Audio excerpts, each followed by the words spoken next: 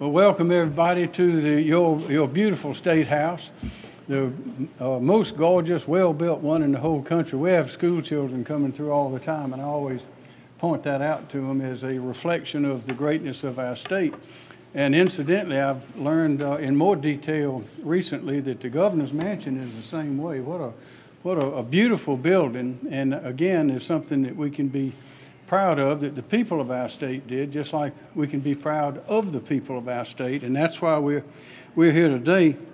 These are the governor's awards for excellence in science, and uh, as we know, uh, science. There's so many innovations and new things happening and happening faster and faster around the world. And in order for our country and our state to stay ahead, uh, we, we have to have excellence in science. We have to cultivate the study, the learning. Uh, by the way, I was over in Hartsville at the Governor's School for Science and Math yesterday. Those are high school students, and uh, they are they are quite uh, up yeah. there. Uh, I mean, we have enormous talent in this state, and we're here to recognize some of that today.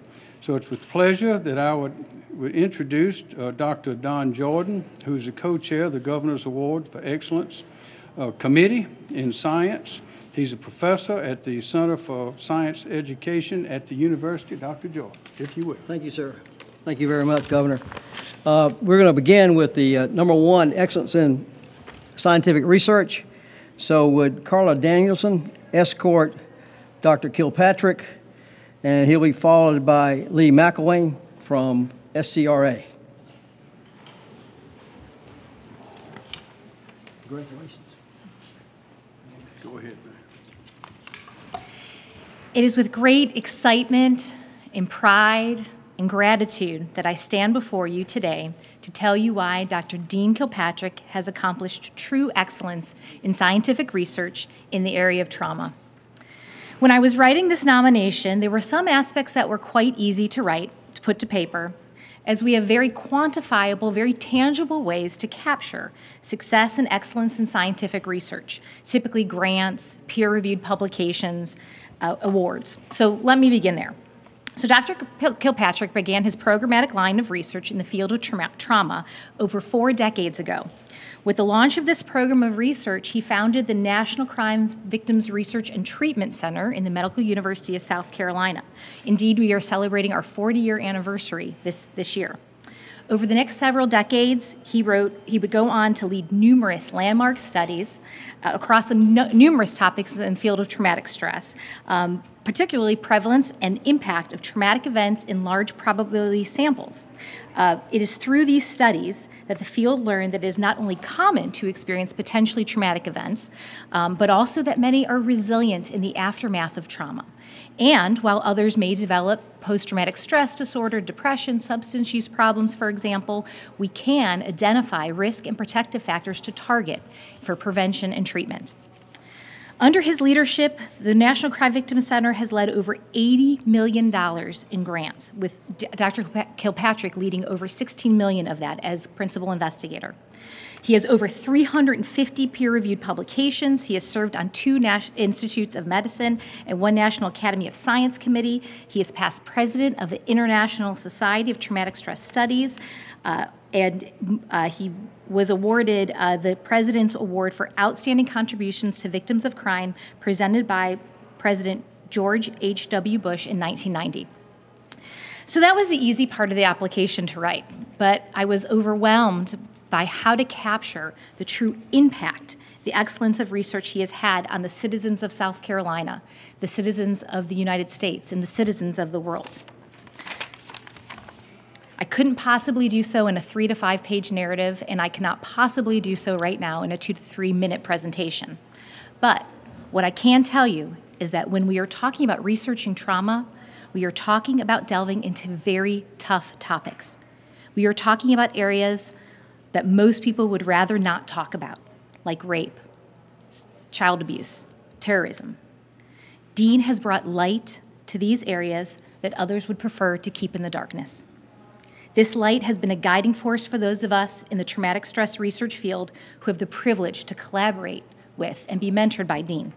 Most importantly, this light has served as a beacon of hope to the thousands upon thousands of people who've benefited the research born from Dean's work, whether it be from improved assessment, improved intervention, or improved prevention.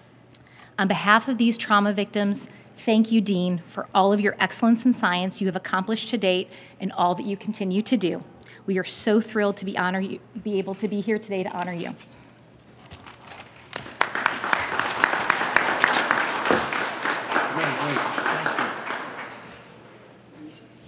You ready for a picture? I am. I don't know.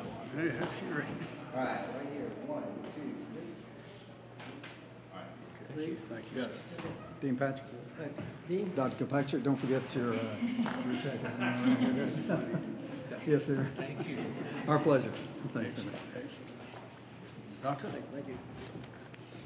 Uh, this is for the Scientific uh, Awareness Award. It would Dr. Connie Best escort our winner, Dr. Schmidt, to the podium, followed by co-chair Bill Perkel.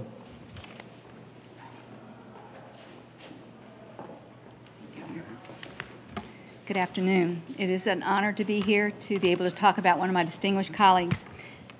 For the past 30, uh, excuse me, the past 28 years, Dr. Michael G. Schmidt has been one of the most visible proponents of science awareness in South Carolina, in the state, and in the nation. For, uh, from one of his earliest activities, the, the creation of interactive science-based CD-ROMs for middle school uh, science students, which at the time was considered such cutting-edge technology that the U.S. Secretary of Energy, uh, Dr. Hazel O'Leary, actually included a description of this project by Dr. Schmidt and one of his colleagues, Dr. Mary Malden, who's also in the audience, uh, that she talked about it and did a demonstration of that uh, CD-ROM um, uh, interactive technology in her testimony before the U.S. Senate when she was discussing STEM education. Uh, to one of his more recent um, activities, he, is, he was the inaugural speaker and also a coach for TED Talk Charleston. Um, that, is a, that is a format um, that now helps communicate science information to a new generation of learners. He has been significantly, he has significantly raised the level of science awareness in our state. Dr. Schmidt's reputation as a scientist in the field of microbiology is stellar. He has made substantial contributions, most notably in his research on antimicrobial copper alloy to dramatically decrease the rate of acquired, hospital-acquired infections such as MRSA and C. diff. Uh, but as important as his science is, as equally important is his ability to communicate and educate the public and increase awareness of science, of the science underlying important health crises, not just for the health-acquired in, um, infections, but also for Ebola, the Zika virus, and bioterrorism threats. His work appears in uh, peer-reviewed journals, as well as the popular press, such as Glamour Magazine, Good Housekeeping, Red Book, and in the national print media, media, such as the Wall Street Journal, the New York Times, the Washington Post, and numerous national radio and television interviews. Um, Dr. Schmidt has had several, been on several national um, task force and policymaking committees, and his ability to take highly complicated subject matter and explain it in understandable terms is greatly valued by students, colleagues, policymakers, and the general public alike. And that is why he is frequently and affectionately referred to as South Carolina's Bill Nye the Science Guy. Um, his tireless efforts in promoting science awareness and education, such as in such a, an approachable and compelling manner, clearly warrants his distinction in, in this award that he is receiving today. Thank you. Come over to and begin the picture. Yes. Dr. Schmidt, Thank you. there you go. Thank you, sir. Thank you. Thank you. The check. Thank you, Bill. Dr. Yordan? Yes, sir. Thank you, sir. Next, we have the uh, Young Research Science Award. Uh, We need Dr. Jamil Khan, along with President Harris Pastides, along with Dr. Nagarkatti, VP for Research, and Hossein, uh, Hossein Haj-Hariri, Dean of Engineering. come to the podium, please. Escort our winner, Dr. Chen. Okay.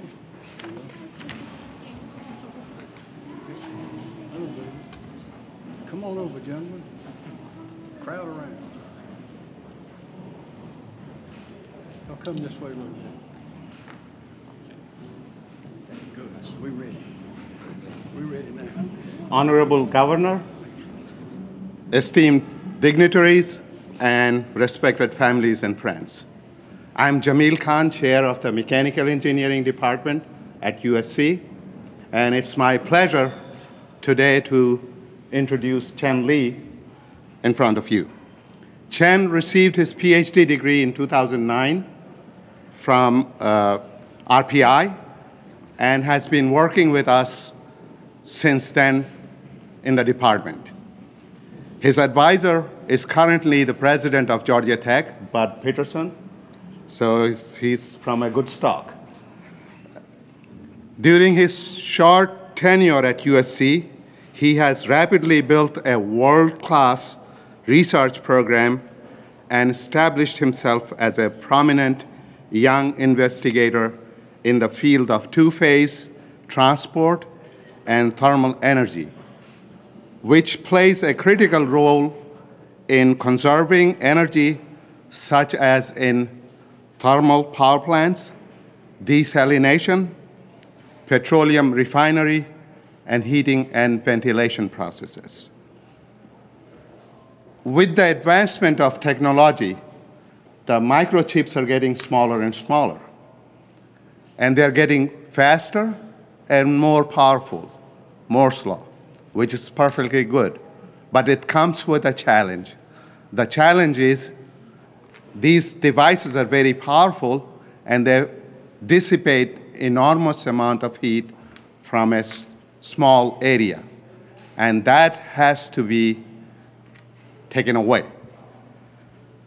So this is one of the area where Chen's high heat flux, two-phase cooling research is providing cutting-edge solution. His research has made tremendous advancement to manage two-phase flow instabilities in microchannels in order to implement two-phase cooling technology in microchips and electronic devices. In addition to two-phase research, he has also proposed and demonstrated several new technologies which are promising in addressing water, energy, food nexus for the US and the world. For example, cooling towers in power plants use enormous amount of fresh water, which we have short supply. In Columbia alone, Google, with their new server, they're using 4,000 million gallons of water a day. So Chen proposed, took advantage of uh, mammals sweating cooling, and he proposed a dry cooling where we inject small amount of water and create highly efficient dry cooling condenser, which can be applied for thermal power plants and save enormous amount of money. Because of his groundbreaking work, he has been recognized as one of the breakthrough stars at USC, has won Research Progress Award in the College of Engineering and Technology this year, and from American Society of Mechanical Engineer, he won an outstanding early career award, ICNMM. Chen is an excellent teacher. He is advising 15 graduate students, and he teaches classes that have more than 100 students in some cases. Very popular teacher. And he's a valuable colleague. I believe that he will continue to advance his research leadership and make further contribution to the state of South Carolina. He is and he will be an asset to the state of South Carolina. Thank you.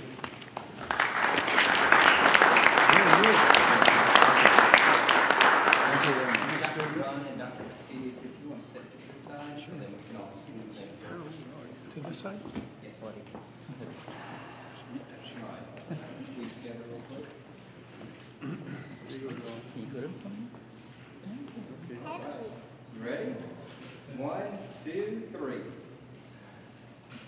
She's the rising star right there. Yeah, she is. Let me hold it. Let me hold it.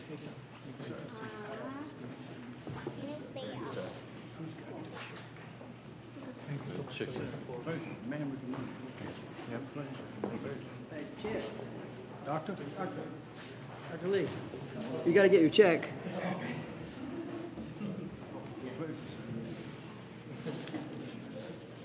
Those of you wondering, he's 40.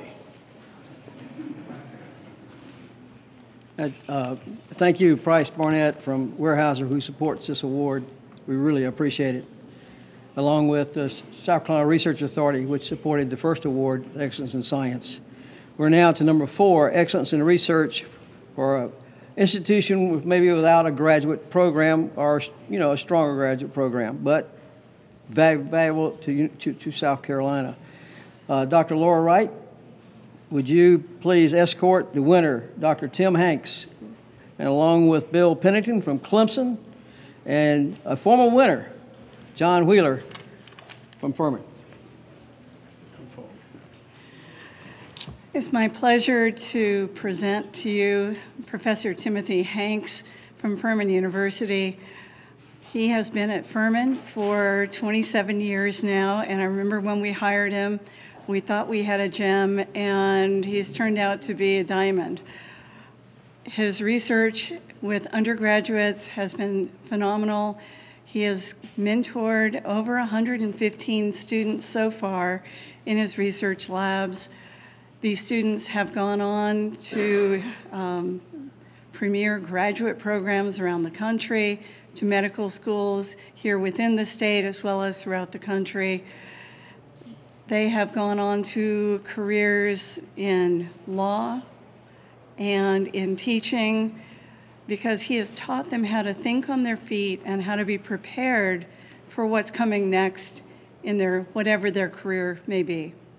His research is focused in the area of materials that you can form with interesting chemical interactions, some very weak interactions formed by halogen bonds, others more robust in the formation of polymeric materials for use in bioimplants. And currently, he has some projects working on anti-biofouling materials.